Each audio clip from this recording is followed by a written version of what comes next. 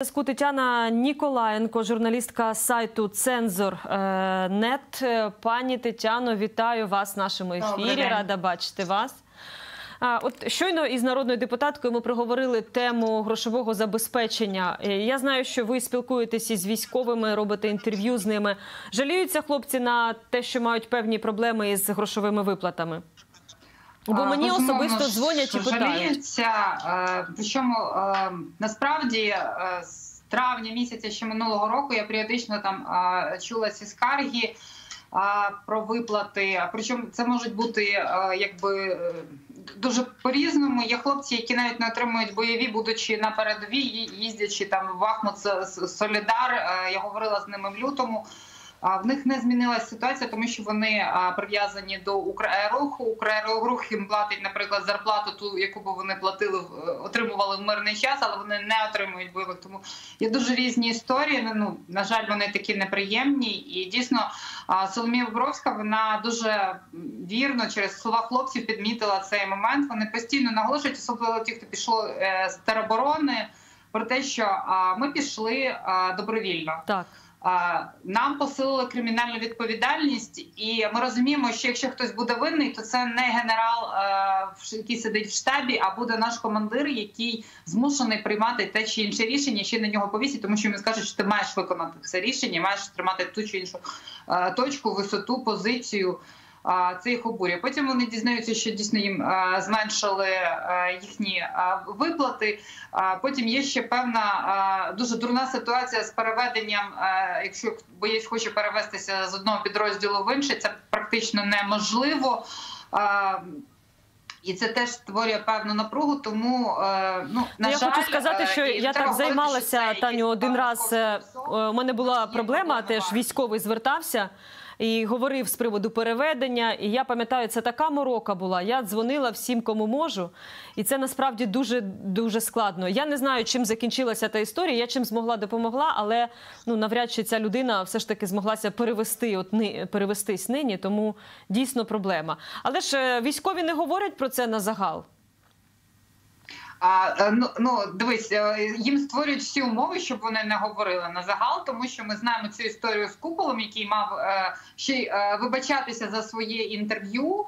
Е, треба віддати йому шану за, за всі- його дії, і насправді не те, що він зміг так. е, Навіть понизити цю свою позицію, щоб не підставляти своїх бійців, не підставляти армію. Але е, оце небажання з влади, влади чути, чути бійців і давати їм можливість говорити про свої проблеми. Вона дуже е, непокоїть. Це фактично ознака диктатури, коли ці люди е, вони позбавляються права голосу. І знов таки про що вони говорять, принаймні в бесідах неформальних. Вони кажуть, що а, чекайте, ми не підписувалися йти в армію, щоб і захищати батьківщину, щоб потім бути безсловесним м'ясом гарматним. Ми так не збирались робити. Одна справа, що вони мають виконувати наказ, інша справа, що е, їм фактично забороняють говорити про ті проблеми, які є. Ну, ми будемо чекати зараз е, 15 квітня і говорити про те, наскільки вони е, забезпечені е, літньою формою, яких їх вже мають екіпірувати. Тобто, А вони до 15 квітня мають отримати, так? так. Угу, зрозуміло. До іншої теми завершено у нас голосування за кандидатів до антикорупційної ради при міністерстві оборони. Я нагадаю, що створюється у нас в країні така громадська антикорупційна рада. Строк повноважень ради один рік. Участь у голосуванні взяли майже понад 40 тисяч людей. І українці ось минулого тижня обирали з поміж 29 кандидатів. І Тетяна Ніколенко, власне, одна з кандидаток там. Е, Таню, чи вам вже відомі результати е, і коли вони будуть оприлюднені? А, ну, історія така, що ми знаємо результати, але вони невідомі офіційно. І це викликає е, певну вже тривогу, тому що третій день, і я не розумію, що там. Ну, я думаю, що е, результати дуже мають не сподобатись Міністерству оборони, Чому? але офіційних е, результатів поки немає. Ну, Правда, вже так з занепокоєнням чекаємо, чим все це А чому, а чому ви говорите, що вони можуть не сподобатися Міністерству оборони? А, то, ну, е, знаєш, вже є якась певна журналістська реакція на те, коли ти там ставиш певні питання, коли ти пишеш певний те- текст, тобі хоча б неформально, але доносять фідбек, як до цього ставиться банкова. а, як е, до цього ставляться інші урядовці. Тому, в принципі, ставлення до своєї особи ти приблизно розумієш. А, Так, е, ну вже була заява Демстакіра, яка фактично сказала, що кандидати, за яких вона агітувала, вони е, всі пройшли до цієї громадської ради, і ну напевно, міністр має усвідомлювати, що для нього це точно не буде легкою прогулянкою, і люди, які там будуть, вони будуть запитувати принаймні. А ви особисто Е, навіть знайомі з міністром? що ця рада не матиме якось е, великого впливу саме на ух- на ухвалення рішень, на але принаймні е, як контроль і як можливість піднімати ті чи інші питання, все таки ця функція буде. Так, е, чекайте, Тетяно, а давайте тоді конкретно по вас поговоримо. Ви свої результати вже знаєте? Так, я їх знаю, але я знаю їх неофіційно. Угу. І які? Як, які вони неофіційно? А ну неофіційно в мене друге, друге місце. Е, Тоді будемо чекати офіційних результатів. Будемо вас запрошувати, вже тоді будемо офіційно говорити. А а з міністром оборони ви особисто знайомі? Бо я, приміром, не знайома, так? Попри те, що там я давно А, Я знайома з міністром оборони ще в з того часу, коли він не був міністром оборони. Як і всі чиновники, як і всі міністри, як і всі депутати.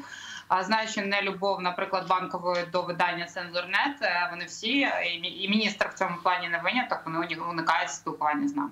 Угу. А з іншими, як ви вважаєте, чи може чи зможе він знайти спільну мову, і чи інші зможуть з ним знайти власне спільну мову? Чесно, е, от того Олексія Резнікова, яка якого я знала до того, як він став міністром оборони, він мені здавався досить відкритою людиною, яка вміє порозумітися, знайти контакт і вийти досить. е, ем, Ну, з позитивом з будь-якого конфлікту, і на жаль, його реакція на всі історії з яйцями Угу. а, і наступні а, вона мене так трохи розчарувала саме з тої позиції, що я, я знала і уявляла цю людину трошки інакше, ніж вона зараз себе поводить. А, тому ну, мені іноді здається, що це не, не тільки позиція самого Резнікова, а, так як він е, себе позиціонує. І іноді вона вимушена і продиктована якимись ще домовленостями з з іншими установами, але ну на жаль, якась вона не дуже конструктивна, якщо чесно.